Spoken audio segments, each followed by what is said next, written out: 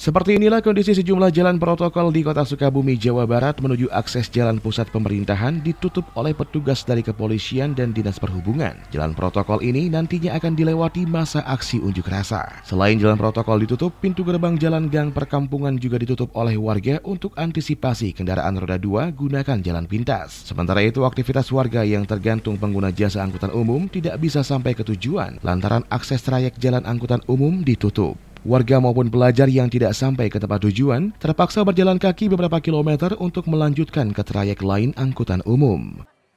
Mana? Dari Selabin Pak. Hmm, kenapa jalan kaki? Mana mobilnya? Mobilnya nggak bisa lewat. Oh, mobilnya nggak bisa lewat ya? Ya, Hmm, udah berapa lama jalannya nih? Jalan kaki? baru baru dah turun Baru turun ya. Ini mau ke mana nih? mau ke bawah Ke bawah ke mana tuh? pasar. Pasar ya?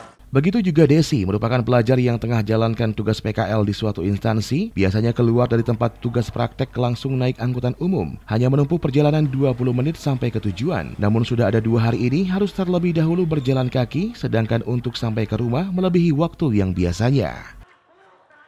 Eh, Perjalanan pulang juga, terus kayak kalau lewat juga kan biasanya asal lewat gitu ya, kayak sepi. Sekarang ramai, jadi kayak agak riuh sih.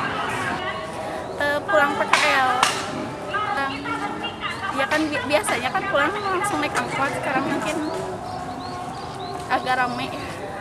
Eh, 20 menit udah sampai sih. 20 menit. Kalau sekarang Sekarang bisa sampai setengah jam lebih. setengah jam lebih.